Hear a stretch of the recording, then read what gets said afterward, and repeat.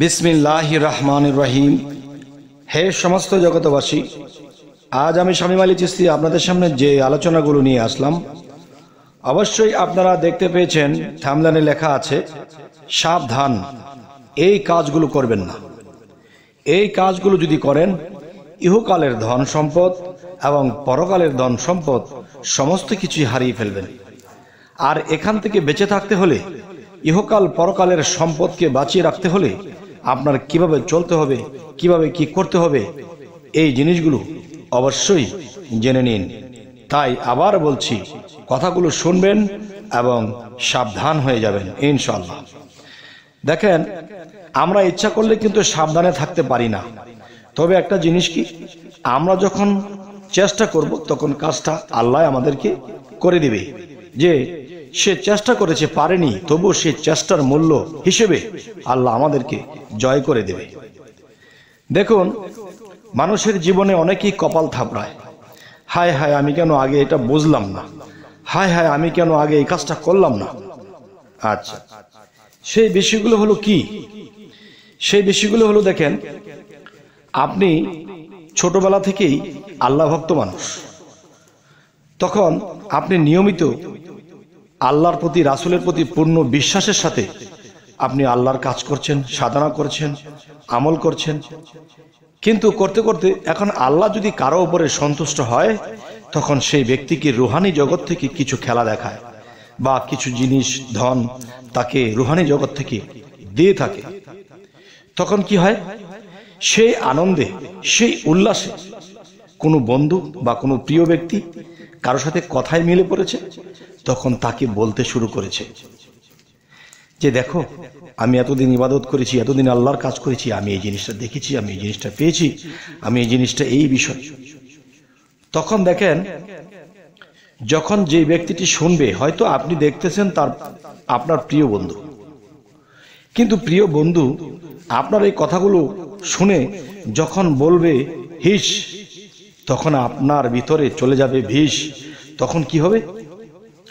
তখন আল্লাহ আপনার প্রতি নারাজ হয়ে, আপনার যে ধনগুলো ছিল, আপনাকে সন্তুষ্ট হয়ে যা কিছু দিয়েছিল, তা আল্লাহ কেড়ে নেবে।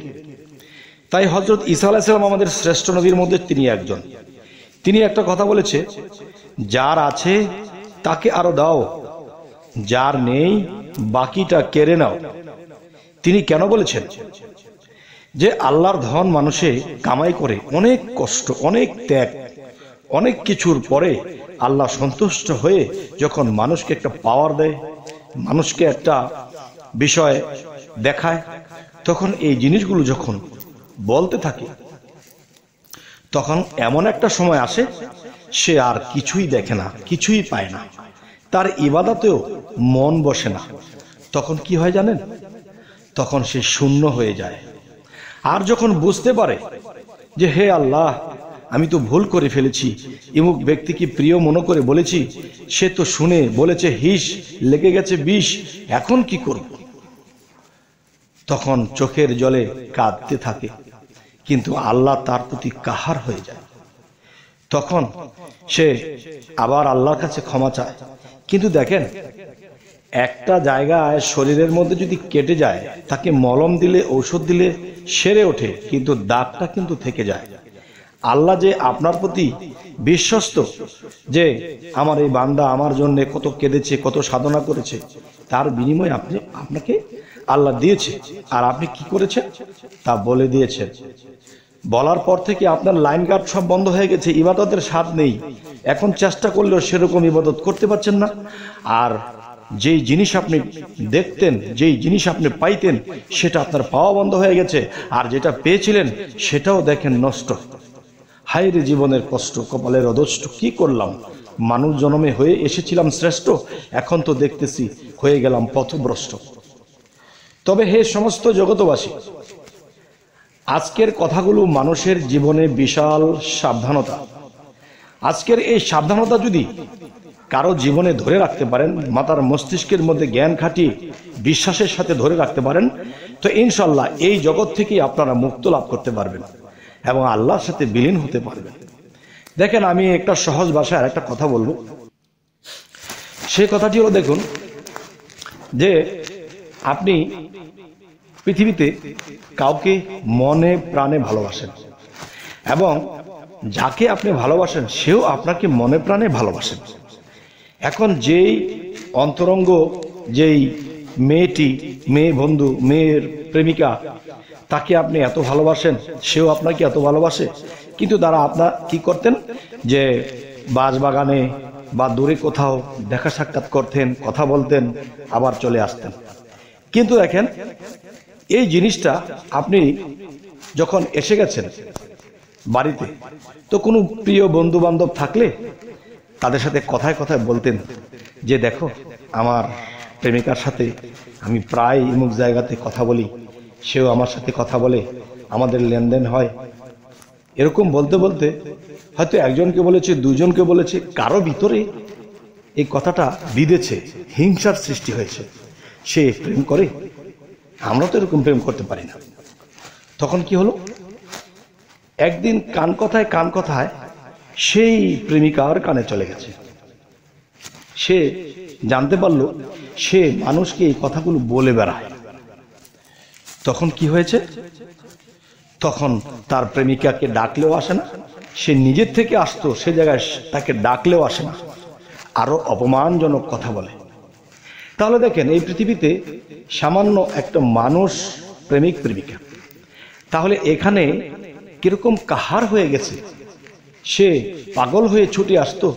সে জায়গার ভিতরে তাকে ডাকলেও পায় না, আরও অপবাদ দিয়ে দেয়। তাহলে এই পৃথিবীর সমস্ত স্রষ্টা, সমস্ত সৃষ্টির স্রষ্টা যিনি আল্লাহ, তিনি যদি কাউকে ভালোবাসে, কারও কর্ম, আমল, ইবাদত ভালো লেগেছে, যদি কাউকে দেখা দেয় বা নূরের সাক্ষাৎ ঘটিয়ে দেয় বা নূরের ঝলক দেখায় বা বিভিন্ন কিছু তার তরফ থেকে দিয়ে থাকে, আর সেটা যদি মানুষকে বলতে থাকে, তখন কি হয়? তখন আল্লাহ সমস্ত কিছু গুটিয়ে নেয়। যে তাকে দিয়েছিলাম, সে তো তার মর্ম বুঝলো না, যাকে তাকে বলে বেড়াচ্ছে। তখন সে যদি আপনার কাছে মহাপ্রেমিক হয়ে থাকে, সে মহাপ্রেমিকের কাছে আপনি কি হবে? কাল হয়ে যাবে। আর তিনি আপনার উপরে কাহার হয়ে গেছে। রাগান্বিত হয়ে গেছে। এখন ইবাদতও তিনি নিচ্ছে না।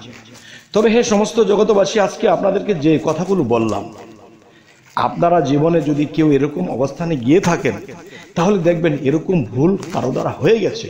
আমি বলব, যার দ্বারা এরকম ভুল হয়ে গেছে, সে রাতের দুইটার পরে চোখের পানির সাথে, জিকিরের সাথে কাঁদতে হবে, আর সেজদা করতে হবে, আর তওবা করতে হবে, ক্ষমা চাইতে হবে হয়তো কোনো একদিন তিনি যদি মুখ তুলে তাকান, সে একটা অপরাধ করেছে, কিন্তু বহুদিন আমার কাছে ক্ষমা চেয়েছে, তখন আল্লাহর কাছে যে আরেকটা নাম রয়েছে, ইয়া রহমান রাহিম। এই রহমানুর রাহিম যখন জপতে থাকবে, রাতের নিঘুম রাতে, তখন তার উপরে সে রহমত বর্ষিত হবে এবং আল্লাহর হৃদয় যখন নরম হয়ে যাবে, তখন কি হবে?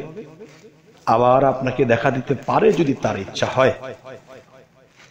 তবে হে সমস্ত জগতবাসী আরও একটি বিষয় যে ওই যে বলেছি যে ঘাস হেরে যাবে, কিন্তু সেই গায়ের যে দাগটা থেকে যায়, তো এরকম যেন কারও না হয়। যদি কারও এরকম হয়ে থাকে, তাহলে এই কাজগুলো করুন।